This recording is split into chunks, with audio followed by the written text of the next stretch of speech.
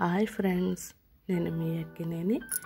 ఈరోజు టాపిక్ వచ్చేసి బెండకాయ ఫ్రై అండి. మనం విడిగా బెండకాయ ఫ్రై చేసుకుంటే ఎక్కువ ఆయిల్ తీసుకుంటుంది. ఎంత ఆయిల్ వేసినా కనిపించదు. అందుకనే నేను చిన్న స్లైసెస్ ముక్కల కింద కట్ చేసేసి పెట్టేసుకుని డైరెక్ట్ వేయించేదే చూపిస్తున్నాను. చూస్తున్నారు కదా ఫ్రెండ్స్ ఇలా ఫ్రై చేసుకుంటే మనకి ఒక రెండు మూడు రోజులు కూడా నిల్వ ఉంటుంది.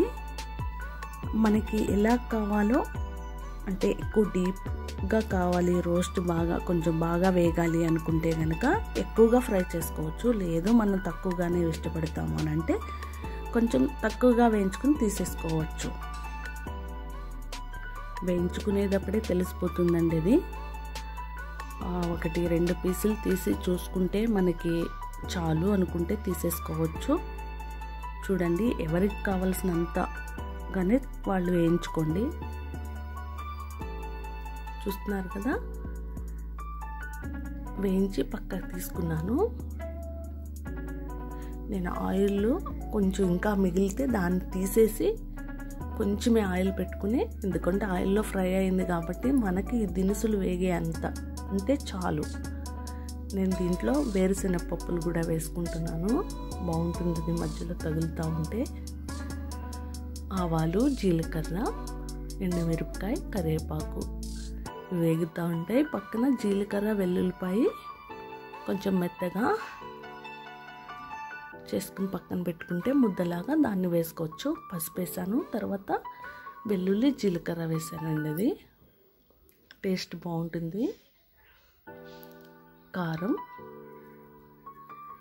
సాల్ట్ కూడా ఇప్పుడే వేసుకోవచ్చు. నేను ఇప్పుడు వేయలేదు. తర్వాత ముక్కలు వేసి మొత్తం మిక్స్ అయిన తర్వాత కారం ఉప్పు కూడా వేసుకుంటున్నా. కానీ ఫస్టే ఉప్పు కూడా వేసుకుంటే మనకి ఒకేసారి మిక్స్ అయిపోతుందండి అంతా. అంతే అండి ఫ్రై.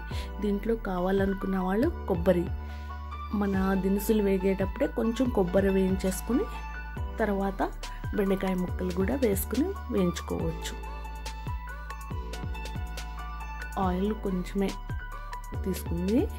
విడిగా మనం ఎంత ఆయిల్ వేసుకున్నా బెండకాయ ఫ్రై వచ్చేసి ఎక్కువ జిగురు టైం ఎక్కువ తీసుకుంటుంది. ఇదైతే జల్దీ ఫాస్ట్గానే అయిపోయిందండి నాకైతే. చూస్తున్నారు కదా ఫ్రెండ్స్? బెండకాయ ఫ్రై రెడీ అయిపోయింది. ఫ్రెండ్స్ చాలా బాగుంది. నా వీడియో మీకు నచ్చినట్టయితే లైక్ చేయండి షేర్ చేయండి సబ్స్క్రైబ్ చేయండి friends.